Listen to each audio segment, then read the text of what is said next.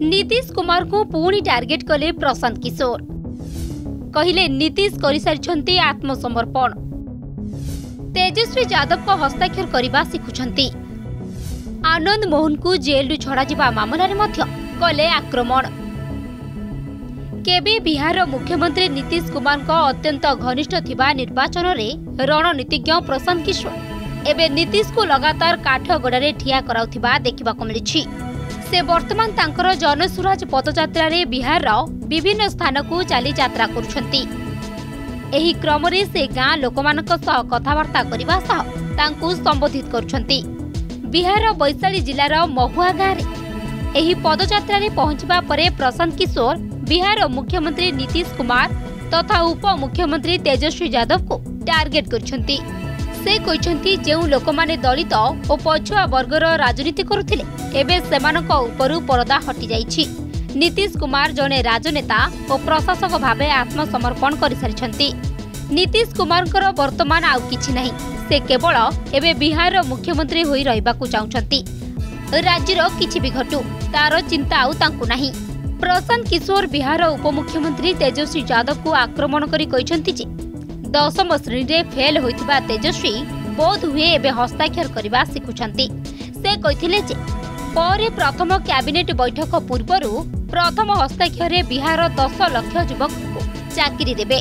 ତେଜସ୍ୱୀ ହସ୍ତାକ୍ଷର କରି ଶିଖିବା ପରେ ବୋଧହୁଏ ଦଶ ଲକ୍ଷ ପିଲାଙ୍କୁ ଚାକିରି ଦେବେ।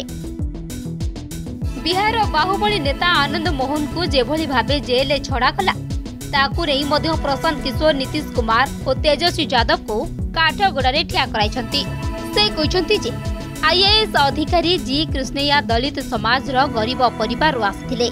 କିନ୍ତୁ ଆନନ୍ଦ ମୋହନଙ୍କୁ ଯେଭଳି ଭାବେ ଜେଲରୁ ଛଡ଼ାଗଲା ସେଥିରୁ ନୀତିଶ କୁମାରଙ୍କ ବାସ୍ତବିକତାର ପର୍ଦ୍ଦାଫାଶ ହୋଇଯାଇଛି। ନୀତିଶ କୁମାର ଦଳିତ ଓ ପଛୁଆ ବର୍ଗର ହିତୈଷୀ ଭାବେ ଦାବି କରନ୍ତି। ହେଲେ ବାସ୍ତବିକତା ଏହାଠାରୁ ସମ୍ପୂର୍ଣ୍ଣ ଭିନ୍ନ ବୋଲି ସେ କହିଛନ୍ତି। ଯେତେବେଳେ ନୀତିଶକୁ ଭୋଟ ଦେଖାଯାଏ ସେତେବେଳେ ସେ ଦଳିତ ଓ ପଛୁଆ ବର୍ଗର ଲୋକମାନଙ୍କୁ ଭୁଲି ଯାଆନ୍ତି ବୋଲି ସେ କହିଛନ୍ତି। ଏଠାରେ ଉଲ୍ଲେଖ କରାଯାଇପାରେ ଯେ ପ୍ରଶାନ୍ତ କିଶୋର ଏହା ପୂର୍ବରୁ ମଧ୍ୟ ନୀତିଶ ଓ ତେଜସ୍ୱୀଙ୍କ ବିରୋଧରେ ଆକ୍ରମଣ କରିଆସୁଛନ୍ତି। ସେ କହିଛନ୍ତି ସେ କିଛିଦିନ ପୂର୍ବରୁ ବିହାର ଉପମୁଖ୍ୟମନ୍ତ୍ରୀ ତେଜସ୍ୱୀ ଯାଦବଙ୍କ ଉପରେ ବଡ଼ ଆକ୍ରମଣ କରିଥିଲେ।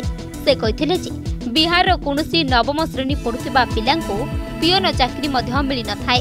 ହେଲେ ଲାଲୁ ଯାଦବଙ୍କ ପୁଅ ହୋଇଥିବାରୁ ତେଜସ୍ୱୀ ଯାଦବଙ୍କୁ ଉପମୁଖ୍ୟମନ୍ତ୍ରୀ ପଦ ମିଳିଛି ଜନସୁରାଜ ଯାତ୍ରାରେ ବାହାରିଥିବା ପ୍ରଶାନ୍ତ କିଶୋର ଲୋକମାନଙ୍କୁ ସ୍ଥାନୀୟ ଭାଷାରେ ପଚାରିଥିଲେ ଯେ ଲାଲୁଙ୍କ ପୁଅ ନବମ ଶ୍ରେଣୀ ପଢ଼ି ରାଜ୍ୟର ଉପମୁଖ୍ୟମନ୍ତ୍ରୀ ହୋଇଛି ଆପଣଙ୍କ ପୁଅ ନବମ ପାସ୍ କରିଥିଲେ କ'ଣ ପିଅନ ଚାକିରି ପାଇଥାନ୍ତା କୁହନ୍ତୁ ତ ସେ ଆହୁରି କହିଥିଲେ ଯେ ଯାହାର ବାପା ବିଧାୟକ ମୁଖ୍ୟମନ୍ତ୍ରୀ ମନ୍ତ୍ରୀ ସେମାନଙ୍କର ପୁଅ ନବମ ପଢ଼ିଥିଲେ ବି ସେ ରାଜା ହୋଇ ରହିବ ଏହା ବଦଳିବା ଉଚିତ ନୁହେଁ ନା ନାହିଁ କୁହନ୍ତୁ ବୋଲି ପ୍ରଶାନ୍ତ କିଶୋର କହିଥିଲେ। Bureau report Argus news.